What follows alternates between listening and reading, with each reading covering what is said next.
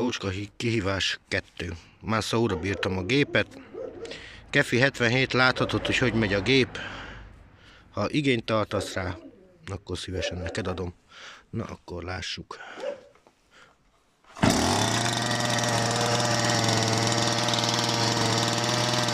Ha lenyomom a szivatót, rögtön áll meg.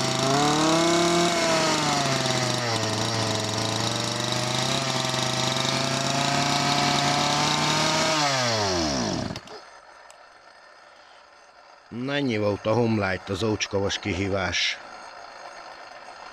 Kefi majd jelez valahogy, ha, ha kéred, és ha minden rendben lesz, már lehet lesz járni Magyarországra, akkor szívesen eljuttatom neked.